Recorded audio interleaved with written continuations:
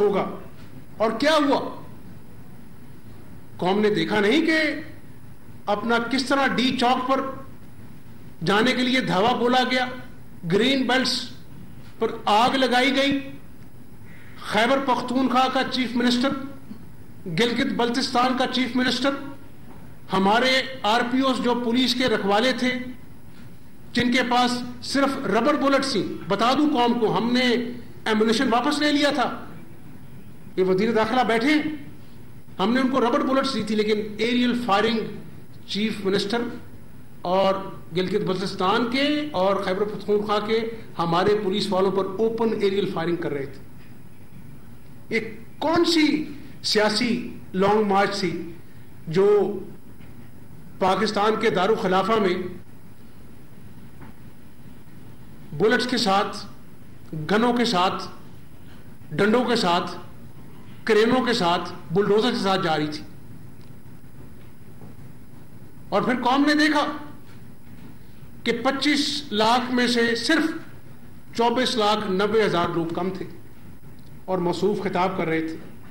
और कहा था कि मैं तो यहाँ पर बैठूँगा जब तक इलेक्शन का बिगल नहीं बजेगा।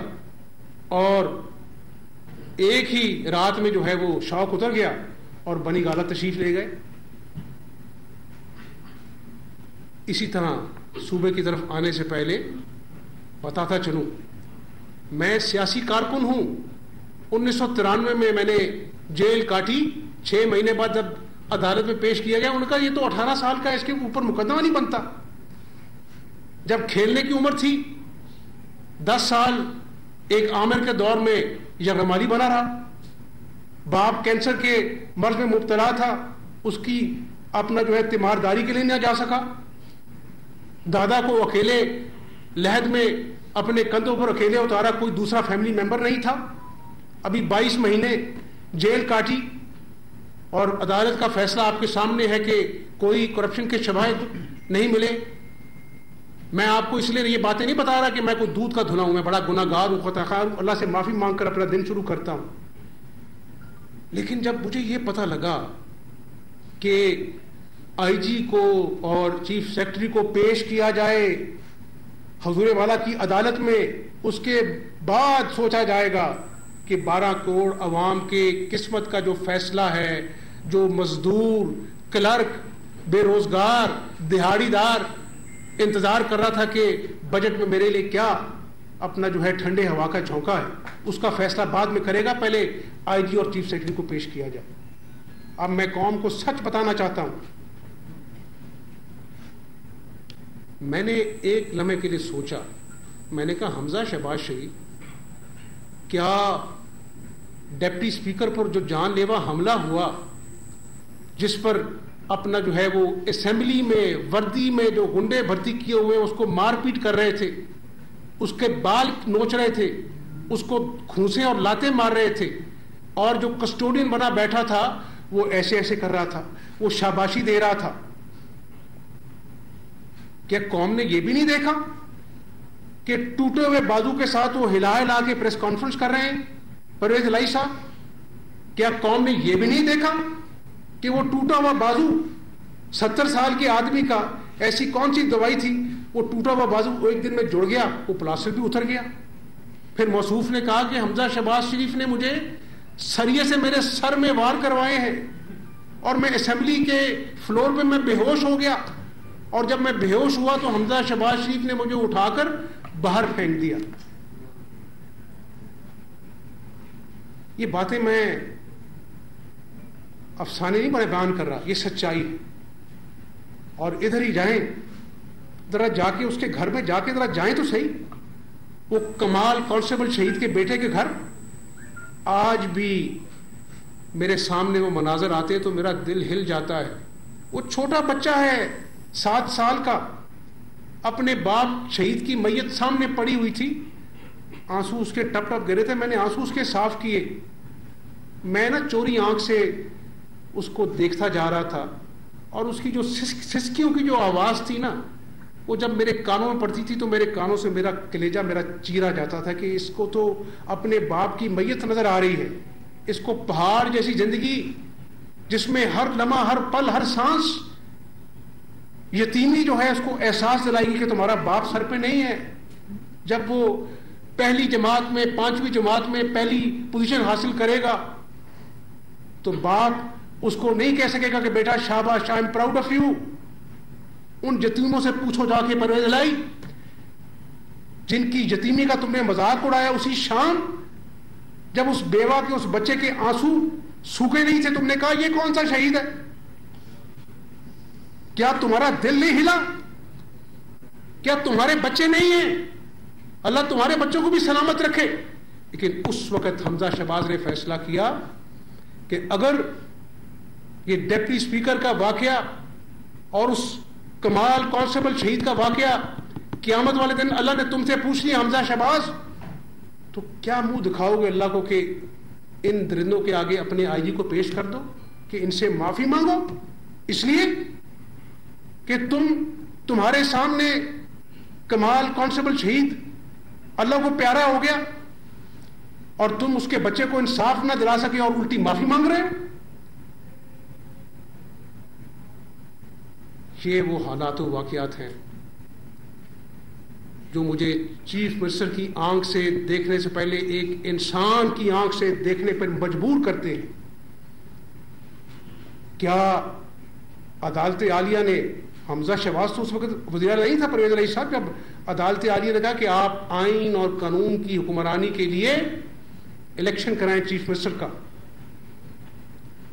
तो ये वाकया जो मैंने बयान किया है, कौम ने फैसला करना है कि मैंने फैसला ठीक किया या गलत फैसला किया। अब आगे चले। चार मरतबा इजलास बुलाया गया। पता है आपको? कि एक इजलास पर करोड़ों रुपया खर्च होता है इस कौम के एक्सचकर का। चारों मरतबा, चंद मिनटों बाद इजलास जो है वो एडजर्न कर दिया गया। परवेज लाई साहब की मंशा है राजा इंद्र नहीं चाहते कि मेरे पास नंबर पूरे नहीं है तो इजलास हो, कोई और वजीला बन जाए। यार, अल्लाह ताला ने जब कुरान पाक में फरमा दिया, मैं जिसे इज़्ज़त देना चाहता हूँ, मैं उसको इज़्ज़त देता हूँ। हमजा शहबाज की औकात नहीं है। अगर अल्लाह ने इस खदाकार को इस बारह करोड़ की आवाम की खदमत के लिए चुन लिया है तो ये अल्लाह का फैसला है। आगे भी अल्लाह ने अब फैसले करने। लेकिन आप मुल्क को तमाशा तो ना बनाएँ। आप आइन और कानून को इस तरह तो ना पामाल करें। मैं क्यों कह रहा हूँ कि तीन महीने पंजाब की तारीख में ऐसे आईनी हवाले से उतार चढ़ाव नहीं आए? यानी दो महीने दो महीने कभी पंजाब की तारीख में हुआ कि वजी काबीना के बगैर काम करता रहे। ये बैठे मेरे साथी बैठे हैं, मुझसे हमदर्दी रखते हैं।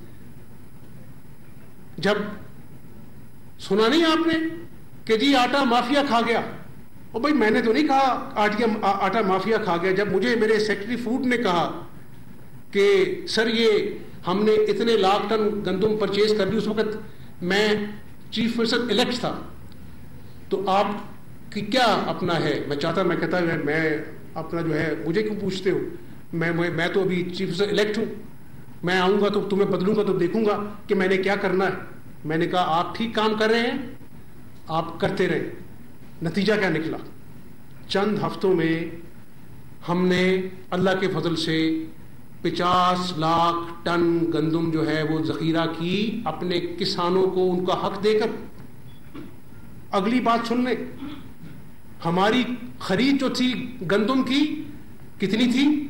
बाईस सौ रुपया पर माउंट नोट फरमाइएगा, बाईस सौ रुपया पर माउंट आज जब मैं आपसे गुफ्तु कर रहा हूँ इंटरनेशनल मार्केट में जो कीमत है, पाँच हज़ार पर मन से तजावज कर गई।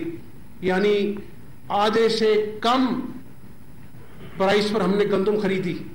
उसके बाद मुझे कहा गया हमजा शहबाज शरीफ साहब आप 200 अरब की सब्सिडी देने जा रहे हैं, काबीना नहीं है। कल को ये आपके खिलाफ मुकदमा बनेगा नैब में।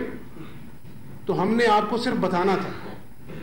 मैं अल्लाह को हजरंदाजी जानकर, मैंने कहा मैं कि अल्लाह मियाँ, इस कौम ने आज भूख और इफलास के वो दिन देखे जो कभी नहीं देखे। घरों में माए बीमार हैं, दवाई के लिए पैसे नहीं है। सुबह नाश्ता करते हैं, रात के खाने की फ़िक्र होती है। दिहाड़ीदार इस चिलचिलाती धूप में, गर्मी में घंटों सड़ता है, घर जाता है तो बच्चे दामन नोचते, अब्बा, रोटी कहाँ है? उस बाप का दिल करता है कि ज़मीन खोले और मैं अंदर चला जाऊँ। और मैं अपने बच्चों के सवालों का जवाब कैसे दूँ? ये वो हालात हैं जो मैं कौम के सामने रख रहा हूँ। मैंने कहा कि हमजा शहबाज शरीफ मुकदर अल्लाह के हाथ में है। काबीना ने तोसीक करनी थी नहीं की, तुम्हें भी नज़र आ रहा है कि कल को काबीना ना बनी, बड़ी गैर यकीनी सूरत हाल थी। लेकिन मैं अल्लाह को और उसकी मखलूक को राज़ी करने के लिए अपनी जान पे ले लूँगा, लेकिन मैं इस वजह से इंतज़ार नहीं करूँगा कि मैंने 200 अरब की सब्सिडी देनी है। मैंने 10 किलो के आटे का थैला 160 रुपए सस्ता करना है पाकिस्तानी अवाम के लिए। मैंने कहा, मैं करूँगा, कल को अल्लाह पता है लेकिन मेरी नीयत है कि मैंने इस आवाम को रिलीफ देना है जिनकी आज महँगाई ने चीखें निकाल दी। और फिर अल्लाह ने कबीना भी बना दी। तो गुजारिश ये है कि जिन मसा, नामसाइद हालात में ये सूबा चलाया गया अब कहते हैं कि जी इजलास ऐवान इकबाल में क्यों किया? ओ भाई मैंने आपको बता दिया इस जमहूरियत के लिए मैंने जेलें काटी हैं। आमरीत में दस साल अपनी जवानी को अपना जो है, अपना एक तरफ़ रख दिया। भुगता, यरमाली बन गया। इसलिए क्या रास्ता छोड़ा था आपने मेरे पास? लोग पकड़ते थे मेरा बाजू कि हमजा साहब, हम भूखे हैं। 48 घंटे मेरी कबीना, मेरे गुजरा मेरी अपना मोजिज मेंबर पार्लियामेंट बैठे रहे 48 घंटे आपने नहीं देखा? इजलास चल रहा है, इजलास बर्खास्त हो रहा है, आठ घंटे बाद इजलास दोबारा शुरू हो रहा है, अब नौ घंटे बाद शुरू होगा। और बात क्या थी? या तो होता कि हमजा शहबाज तुम्हारे पास नंबर नहीं है? नंबर भी पूरे। आज आके बात कहाँ खत्म होती? आईजी को पेश करो। चीफ सेक्रेटरी को पेश करो। अरे भाई, हम कह रहे हैं बारह करोड़ अवाम के सूबे का बजट पेश होना है, तुम कहते हो आईजी को पेश करो। तुम्हारी अना की तस्कीन ही नहीं हो रही। तो फिर हमने ऑप्शन देखे। नामसाइद हालात में तमाम जो आईनी कानूनी जो रास्ते हमें कहते थे कि इस सूबे को जो बिल्कुल एक जाम कर दिया गया है। ये भी तो मेरी ज़िम्मेदारी है ना। कल को मैं बैठा था इसके इसके इंतज़ार में कि आईजी को पेश करो, सूबे को अपना जो है जाम कर दिया है इसने। और आईजी पर वही लाहौर में वज़ीर अला पंजाब हमजा शहबाज न्यूज़ कॉन्फ्रेंस कर रहे हैं और दूसरी जानब अमीर जमात इस्लामी सिराजुल हक पिशावर में मीडिया से बात कर रहे हैं।